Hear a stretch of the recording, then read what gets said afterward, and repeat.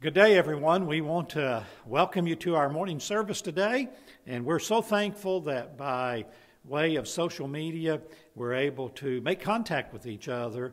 And so, if you've not already done so, we want to encourage you to get your family together and grab your Bibles, and we're just going to spend some time together worshiping the Lord together. This time, our assistant pastor Tim is going to come and lead us in a song. So, let's join our hearts together in worshiping the Lord. All right, good morning, church family. If you are there at the house, I encourage you to stand and we're going to sing our theme chorus. Let's sing, sing it through twice together, all right? Our theme chorus.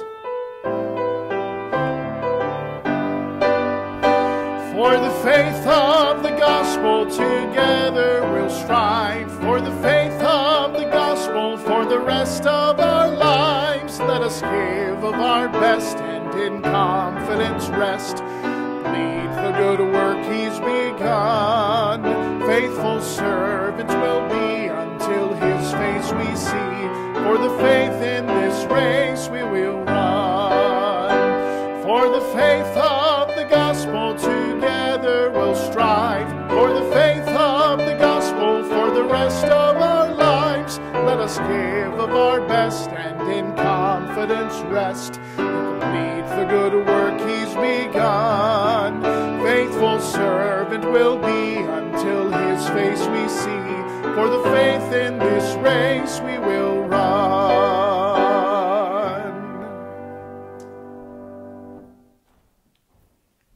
Amen. Thank you, Tim, for reminding us of our theme chorus for this year. And by the way, our theme, as you know, church family, is refocus. Our theme verses are Hebrews chapter 12, verses 1 through 4. And let me challenge you, it, uh, you may have some extra time on your hands right now. It'll be a good time to memorize those four verses Hebrews chapter 12, verses 1 through 4.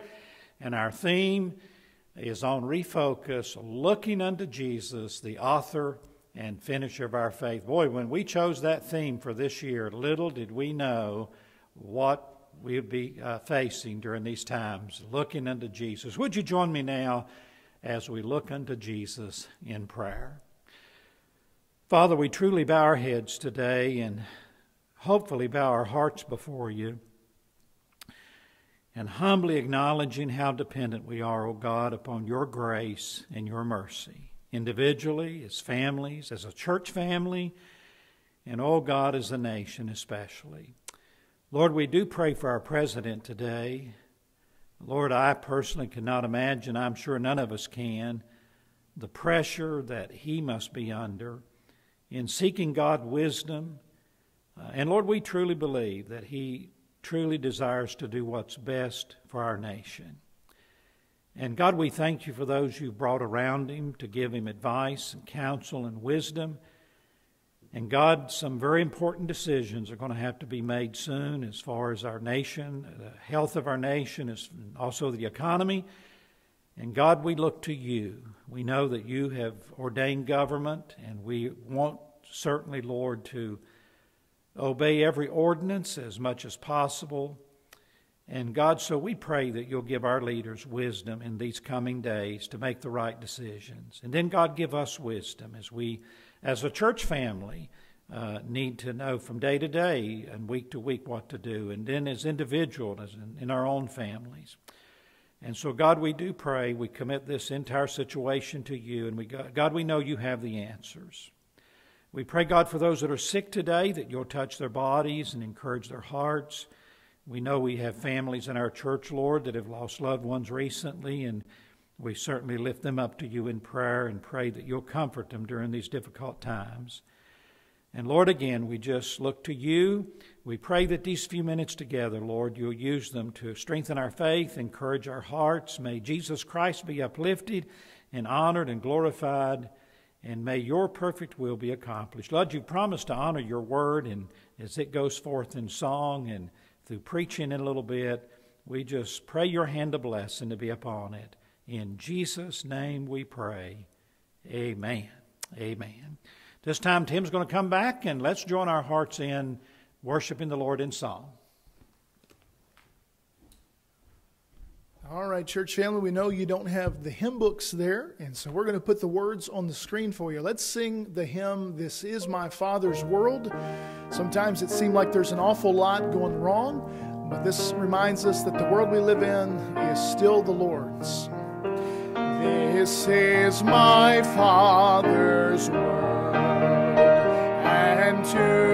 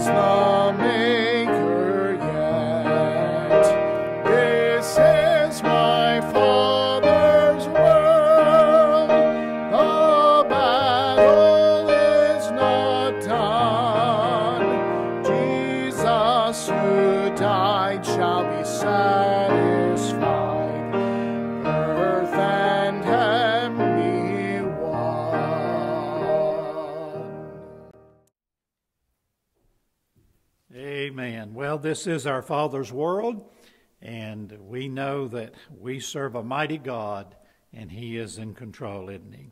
Let me just share a couple of announcements with you. Some of you have been uh, contacting us, asking us what to do about your tithes and offerings, and uh, believe me, it's an encouragement to our heart that you are still concerned about uh, the financial needs of the church. My first suggestion would be to just uh, lay by in store. That's the Word of God instructs us there in 1 Corinthians chapter 16 uh, to lay by in store. And during these times, uh, God has certainly been good to us as a church, and we are, uh, as of now, able to meet all the financial needs. So, my first suggestion would be just to lay by your tithes and offerings in store. And hopefully, soon we'll be able to come back together and we'll just have one great big harvest uh, offering uh, uh, when we're able to come back together. But if you want to mail a check to the church, that's fine. Uh, some of you have already done that. If you want to mail a check, we'll certainly make sure that it gets deposited into the church account.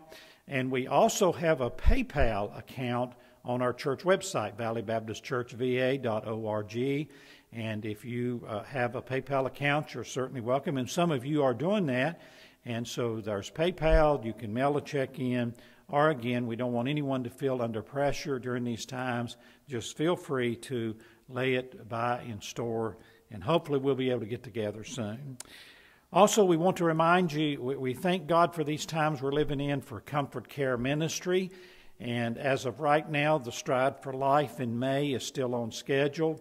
But even if we're not able to uh, physically and literally walk in, in the Stride for Life, of course, the goal here is to encourage folk to be in prayer for that ministry and also to uh, uh, raise financial help for them. So we encourage you to get online, register, uh, start uh, getting uh, uh, supporters to, to support you during that, and we'll keep each other informed about that also.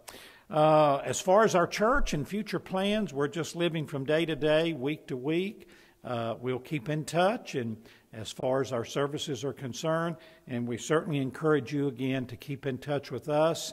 Uh, if you need us for anything at all, please feel free to contact us.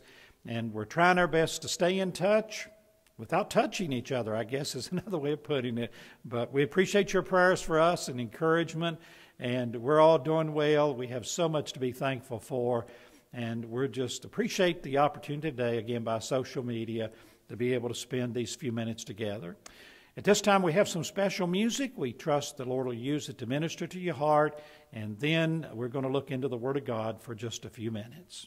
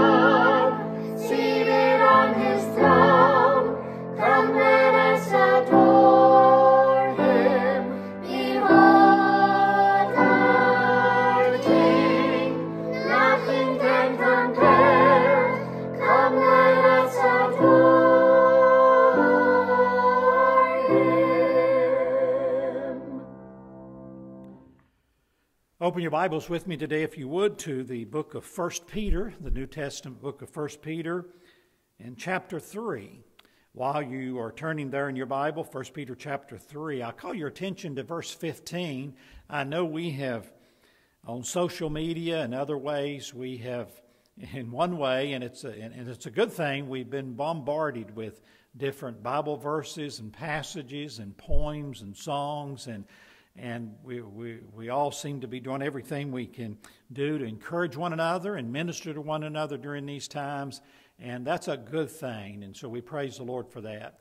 One verse of Scripture that just seems to keep coming back to my mind and heart during these times is found in 1 Peter chapter 3 and verse 15, where the Word of God challenges us to sanctify the Lord God in your hearts and be ready always to give an answer to every man that asketh you a reason of the hope that is in you, with meekness and fear. And I believe one of the reasons that verse of Scripture keeps coming back to my mind and heart during these times is because of the subject of hope. Hope. Our hope is in the Lord, amen? And our hope is in the Word of God. Let's bow our heads for a word of prayer and would you pray and join with me? Let's ask God to use His Word to minister to our hearts. Uh, Father, again, we are reminded of one of the many, many promises that you've made to us in your Word. And you promise, God, that your Word will not go out and return void, but will accomplish the purposes for which you send it forth. And we believe, O oh God, that we have a holy Bible. We believe we have the inspired Word of God that holy men of God were used by the Holy Spirit to write. And God, you've preserved it for us. And we have utmost faith and confidence in it. And so, Lord, as we look into your word today, use it to minister to hearts and lives. And we'll thank you and praise you for all that you do. In Jesus' name we pray. Amen. I want to again call your attention to this verse, but what I've been reminded of this week is I've again gone back to this verse and read it and thought about it, even for my own uh, life and ministering to myself, I was reminded of the context of the verses surrounding this verse. And by the way, that's a good principle to keep in mind when we read and study our Bibles is not only is to be careful not to take a verse out of the context of the verses around it and not to take that particular verse out of context of all the other verses in the Bible that have to do with that same subject. And the subject of hope is a wonderful subject in the Word of God. And why, my, how, how needed it is in these days in which we're living to be reminded of the hope that we have in the Lord Jesus Christ and the hope that we have in the truth of God. But would you notice that in the context of the verses around that, that the Apostle Peter is reminding us about the subject of loving life and seeing good days. For example, in verse 10, if you'll notice here in 1 Peter chapter 3, beginning with verse 10, the Apostle Peter says, For he that will love life and see good days. Hey, I want to ask you a question this morning, and I'll use this question as the title of the message. Are you having a good day? Are you having a good day? Now, some of you would like to turn me off right now, wouldn't you? If we were in church together, I'd say, now, hey, don't, don't throw a hymn book at me. You'd say, Pastor, what, what a question to ask during these times. Here we are in the midst of a worldwide pandemic. Here we are in the midst of a national crisis. What do you mean, are you having a good day? You know, here at church, sometimes, church family, you know, we'll, especially on Sunday night or Wednesday night, I'll ask the question, I'll say, hey, how many of you had a good day today? And almost every hand will go up, even if they didn't have a very good day, just been kind. Everybody, almost every hand goes up, yes, I had a good day. And then I'll say something like, hey, how many of you had a great day? I mean, this was just a great day. Not quite as many hands go up, maybe half or more. And then I'll say, how many of you had such a great day today that you had to pinch yourself? To, to, to, you thought you were in heaven, you were having such a great day, and you had to pinch yourself, have a little pain to come back to reality. And you know, hardly a hand goes up. Maybe one person will raise their hand just having fun together. You know, I realize that I don't recall in the last couple of weeks asking anyone, hey, have you had a good day? Now, we've all asked each other. Some of you've contacted my wife Judy and I, and you've asked us, are, are you all doing okay? Uh, do you need anything? Or y'all handling everything okay? And we appreciate that and appreciate your prayers and concern for us. And, and we've done the same. But I don't recall in the last two weeks asking anyone, have you had a good day? And you know, I think the reason for that is we don't mean to, but in our perspective of things, a good day is a trouble free day, if there is such a thing, you know. In other words, we think a good day is a good day is when all our plans went okay and we accomplished everything we wanted to get accomplished, and there were a few bumps in the road, but basically speaking, hey, everything went okay, and that was a good day. Well, you know, some days that I think may have been good days, from God's perspective, may have not been very beneficial and very profitable at all.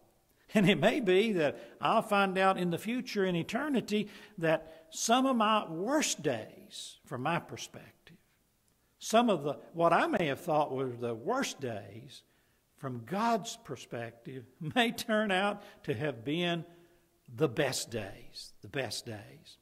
And so the apostle Peter's challenge here is in verse 10 of 1 Peter chapter 3, for he that will love life, and I would hope and pray that going through situations like we're going through now, that would help us to appreciate the gift of physical life, every day of it. But he that will love life and see good days. The word good there implies not a trouble free day or a problem free day. There is no such thing.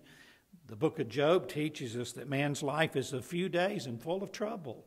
And we know we live in a troubled world. The word, the word good there implies that which is profitable, that which is beneficial. And so I ask you the question today are you having a good day? Not good in the sense that no trials, no problems, no difficulties. Yeah, that's a foolish way to ask that question in these times in which we're living. But I ask you that question from the perspective are you having a good day in the sense that you're allowing God to use what you're going through right now individually, what your family is going through, what your church is going through, your nation's going through, to help profit you and benefit you? You know, Peter is actually quoting from the Old Testament scripture. We won't turn to it now, but I challenge you to go back and read Psalm 34. Here's the Apostle Peter. This is amazing to me. I often think about this. Here, God's using Peter to give us a portion of the New Testament scripture. He didn't have any New Testament scripture. But these New Testament writers were certainly dependent upon the Old Testament scriptures, and they looked to those scriptures for comfort and strength. And here's Peter, God's using him to give us a portion of the New Testament, and he's quoting from the Old Testament, Psalm 34. I challenge you this week sometime to read that chapter. And he challenges us to love life, to choose to love life, and appreciate life that God's given us, and to see good days. And what's amazing is Peter is writing to believers who are under persecution. As a matter of fact, let me read a couple of these verses. In verse 13, we read, Who is he that will harm you if you be followers of that which is good? But, and if you suffer for righteousness, happy are you. And be not afraid of their terror, neither be troubled. Here's Peter in verse. Now, these Christians were going through persecution. By the way, you know, I've been reminded this past week we say, what do we do in times like this? How do we handle life every day in such uh, unprecedented times, in such uncertainties from moment to moment? And I've been reminded this week that, you know, a good bit of the world lives like this every day. Many of our brothers and sisters in Christ in other lands and places, you talk about living in times of uncertainty. This is just a way of life for them. And so here we're learning about that here in America. But here the Apostle Peter says in verse 14, said, Neither be troubled. So can you imagine that? Here's Peter telling them, hey, don't be troubled about your troubles. Now that's you know, you know, only God could say that and get by with it. For me to tell you not to be troubled. And by the way, when he says don't be troubled about your troubles, he's saying don't be full of anxiety and worry. And for us to tell each other that, that you know, that, that, that's a human impossibility. It's only natural to be troubled about our troubles, to tend to be under stress and worry and full of anxiety. But God can say that to us because God's grace is sufficient to give us wisdom, to give us peace, to give us a calmness that only the Holy Spirit can give us. God has a right to tell us, even command us, not to be troubled about our troubles. Have you read John chapter 14 recently? In John chapter 14, verse 1, Jesus said, Let not your heart be troubled, neither let it be afraid. You believe in God, believe also in me. Wow, how could Jesus ask us to have the same kind of confidence and trust in Him that we have in God Almighty? That was a claim to deity. Jesus is claiming there to be deity. John chapter 14, verse 1. And on down in that chapter, John 14, verse 27, Jesus again said, Hey, let not your heart be troubled, neither let it be afraid. Here in this passage in 1 Peter chapter 3, as we think about having a good day from the sense that God can use it to benefit us and profit us. The Apostle Peter gives us some instructions, some divine instructions from God, not just suggestions. Let me share with you. You can go through this passage and pick out some for yourself. Notice some things that Peter challenges us to do. Those believers to whom he was writing were under severe persecution. We're living in some difficult times right now. We need God's wisdom. We need God's help. And we want these to be good days in the sense that they profit us and benefit us. What should we do? Well, first of all, notice here in 1 Peter chapter 3 and verse 15. Number one, the Apostle Peter challenges us and reminds us and instructs us under the inspiration of the Holy Spirit to sanctify the Lord in your heart. To sanctify the Lord in your heart verse 15. Now, we could say that that's just another way of saying turn to the Lord or trust in the Lord. As we just quoted from John chapter 14, where Jesus himself instructed us to let not our hearts be troubled, but to trust Him, to turn to Him, to look to Him. Again, our theme this year, taken from Hebrews chapter 12, verses 1 through 4, looking into Jesus, looking to God. Oh, you can read the Psalms, you can read through the Word of God, and how many times do you find uh, the wonderful men and women of God found in the Bible who, who acknowledge they, they have trouble, they're going through life experiences, and they're humbled and they cry out to God for help. They turn to the Lord. So when Peter says, sanctify the Lord God in your hearts, he could be reminding us to just simply, hey, it's time to turn to the Lord and trust Him. But that word sanctify is an interesting word, and you know this, church family. The word sanctify simply means to set something apart. It's, it's considered something that's holy and set apart for the glory of God. And I believe what Peter is saying there to these believers in his day who were going through severe persecution. And what a challenge to my heart and your heart today, church family, that within our hearts we acknowledge the truth about Jesus Christ. That we set him apart as the holy one that he really is. And by the way, to acknowledge him as Lord. Not just as one who can forgive us of our sins and take us to heaven one day, as wonderful and glorious as that is, but in our hearts to acknowledge that He is truly who He claimed to be, the eternal Son of God, deity. He never had a beginning, He'll never have an end. And He's the Holy Son of God.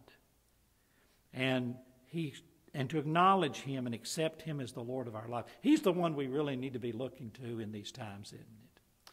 Many believe that Peter is actually quoting here from the Old Testament book of Isaiah. We've already mentioned that Peter is quoting there in one place from Psalm 34. And here, when he challenges to sanctify the Lord in our heart, he may actually be quoting from Isaiah chapter 8. And if you have your Bible there, you can turn there. If not, just listen carefully and you can turn to it later. In Isaiah chapter 8, verse 13, we find these words Sanctify the Lord of hosts himself, and let him be your fear, and let him be your dread, and he shall be a sanctuary. Wow. Let me just take a minute and share what's happening here in, in, in the Old Testament book of Isaiah, chapter 8. Ahaz is the king of southern Judah. Northern Israel has united with Syria, and they're basically threatening the southern kingdom of Judah to come for an invasion. At the same time, Ahaz, king of Judah, is not only concerned about Israel and Samaria, Samaria uh, Syria here, but now Ahaz is also concerned about the Assyrians. And so he's, you talk about a time of crisis. He's got decisions to make. Who's he going to surrender to? Who's he going to yoke up with? Who's he going to depend on for help?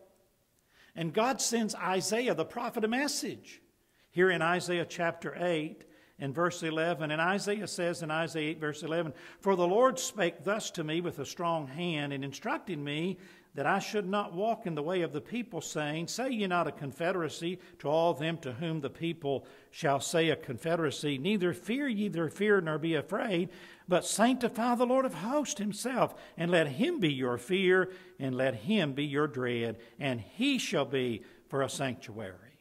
Now, some believe that this was God's challenge to Isaiah the prophet. Isaiah, what should you do as a believer? What should you do as the prophet of God in times like this? Whatever Ahaz does, whatever these ungodly, wicked people do, you turn to the Lord in your heart. Sanctify the Lord. Put the Lord first place, and He shall be a sanctuary and a dwelling place for you. Others believe it's God's challenge to Ahaz himself, King Ahaz. But whoever that prom- challenge was given to, it's, the benefit of it is for all of us. Oh, that God would move upon the hearts of our national leaders today and our state leaders and our local leaders and all of us and realize during these times, oh, let's look unto the Lord. Peter says, going back to 1 Peter chapter 3, if we want to have good days from God's perspective and see how God can even use the, the most serious trials and burdens of life to benefit and profit us spiritually and every other way. If you want to see how God can turn the worst day into the best day, let's sanctify the Lord in our hearts. Our hope is truly in the Lord and in the truth of his word. Notice the second thing he challenges to do in this verse, 1 Peter chapter 3 verse 15, is not only to sanctify the Lord God in our hearts, but to be ready always to give an answer to every man that asketh you a reason of the hope that is in you. Wow. you know, the first thing he challenges to do there is to sanctify, acknowledge the Lord, turn to the Lord, sanctify the Lord in your hearts. But number two, to be eager to share the Lord with others. We have the greatest message of good news this world's ever heard, and that's the gospel of Jesus Christ. The good news that Jesus died on that old rugged cross, was buried, and rose again the third day. We celebrate all that all year long, but especially the Easter season that's coming up just in a few days. Notice in this verse again, 1 Peter chapter 3, verse 15, that Peter said, But sanctify the Lord God in your hearts and be ready. Be ready always. That word ready there implies eagerness, earnestness, sincerity. Wow, if our hearts have ever been burdened to share the gospel with people around us, it ought to be the times we're living in. People's hearts are prone to be full of fear, worry, anxiety. We just happen to be, as a, as a whole world and nation, to be living in these times. All of us are prone to be overtaken by those emotions but especially those who really don't know the Word of God, who don't know the Lord Jesus Christ as their Savior, don't know the promises of God. And so Peter says, "Hey, you want to have a you want to have you want to love life and really let your life, the days of your life be good and profitable and beneficial from God's perspective? Wow.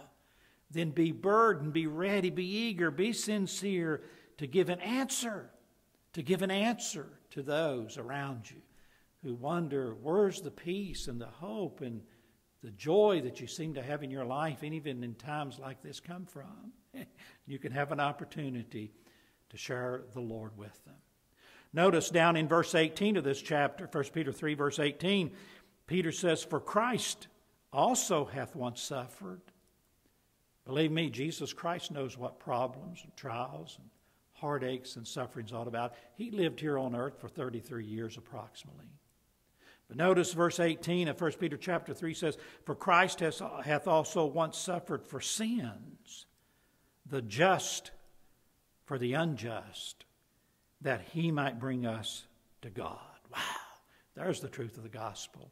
Jesus Christ, the just one, the righteous one, the holy one, the only one who never deserved to suffer, suffered for us, the unjust, the ungodly, the wicked, the sinful.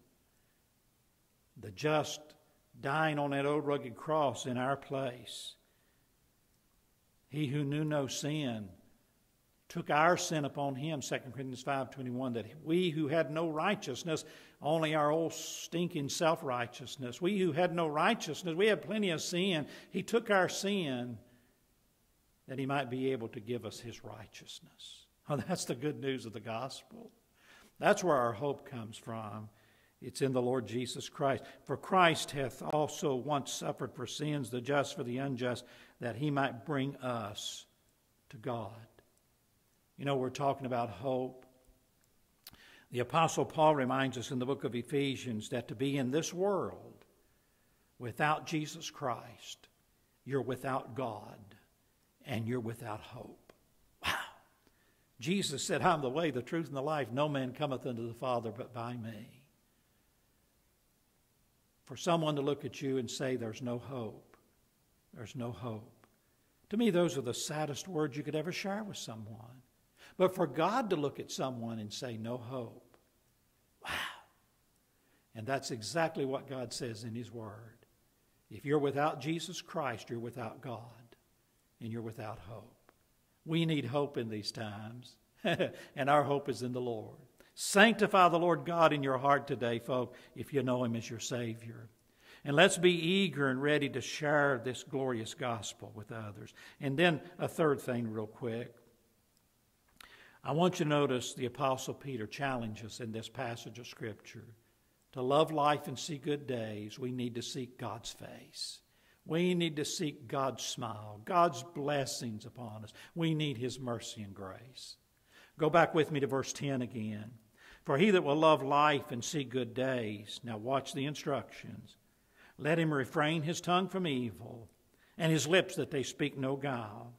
Let him eschew or hate evil and do good. Let him seek peace and ensue or pursue it. Verse 12 For the eyes of the Lord are over the righteous, and his ears are open unto their prayers. But the face of the Lord is against them that do evil. Wow. In verse, the latter part of verse 15, When we're challenged to give a reason for the hope that is in us, we're to do it with meekness. That implies humility. And fear, and the word fear there has to do with reverence for God. Verse 16 challenges to live a life by the grace of God where we have a good conscience.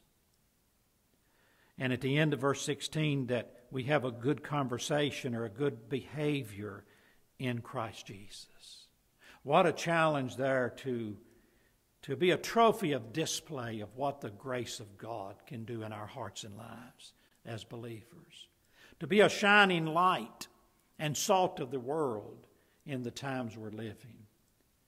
One of the reasons we're living in troublesome times is because of the wickedness and sin. I'll be truthful with you.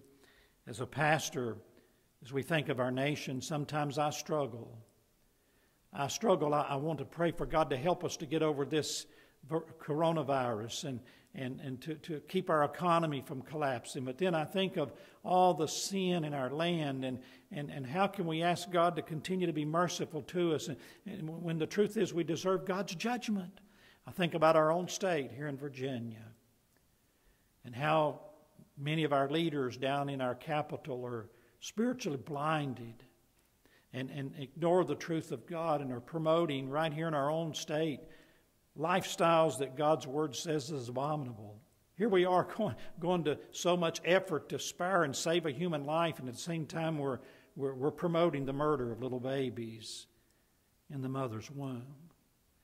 And sometimes I wonder should we be like Elijah and, and instead of praying for God's blessing, should we, should we pray for God to stop the rain and bring judgment on us, whatever it takes to, to humble us before God? And sometimes I struggle on how to pray.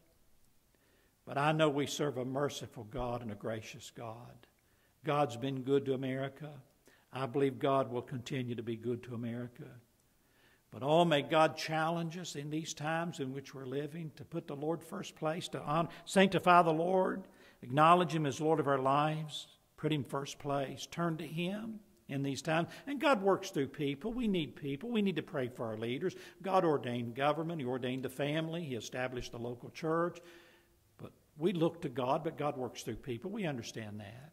Let's sanctify the Lord in our hearts. Let's be eager and ready to share the Lord and the message of the gospel with all those around us. That's the only message of hope for this world today. And then, by the grace of God, let's take a stand against sin. Let's ask God to help us by His mercy and grace to live holy, godly lives in these times in which we're living. You know, the truth is, we talk about living in times of uncertainty you know, the truth is, every day of your life and my life, in a sense, is a day of uncertainty. Even in the best of times, even when we think everything's great, we're living on cloud 19. The Bible reminds us in Proverbs chapter 27, verse 1 Boast not thyself of tomorrow, for thou knowest not what a day may bring forth. We don't. The only, the only promise we have is the breath we're taking right now. Life things, situations, and circumstances can change just like that, can't they? James chapter 4 and verse 14 in the New Testament says, What is your life? It is even a vapor. It appeareth for a little time and it vanisheth, and it's gone like a vapor. But Psalms 118, verse 24, reminds us this is the day the Lord hath made. We will rejoice and be glad in it. This is the day the Lord hath made we will rejoice and be glad in it. Every day of life is a life of uncertainty. Let me ask you a question. Someone said, You're not ready to live until you're ready to die. You're not ready to really live. Peter's challenging us here to love life and to desire to live a life of good days from God's perspective. But you're not ready to live until you're ready to die. And you're not ready to die until you know Jesus Christ is your Savior. And you have that peace and assurance that Jesus Christ died for you on that old rugged cross, was buried, and rose again. If you've never trusted Christ as your Savior, would you do that today? Would you right now in your heart trust Jesus? And dear brother and sister in Christ, church family, as we challenge each other's heart today, hey, I ask you a question. Are you having a good day? And no matter what your heartaches are, your trials are, your problems are, God can turn it into a good day. If you'll look to Him, sanctify the Lord in your heart, share the love of God with others, the message of the gospel, and live a life that's honoring and glorifying to Christ in these times. Would you pray with me? Father, today, may the Holy Spirit take your word, encourage our hearts, strengthen our faith, convict us where we need to be convicted, draw the lost to you that they may be saved and challenge us in these times, O oh God, these times of trouble and difficulty and uncertainty, to look to you, O oh God, and allow you to use them in our lives for good, for profit, for benefit. And we'll thank you and praise you for all that you do. In Jesus' glorious name we pray. Amen. Again, if we can help you spiritually or any way at all, please contact us. Uh, some way, and we'll be glad to do all that we can to help you. And church family, we invite you to uh, to be back with us at 6 p.m. tonight. 6 p.m. tonight for our Sunday night service. God bless you. We'll see you tonight at 6 p.m.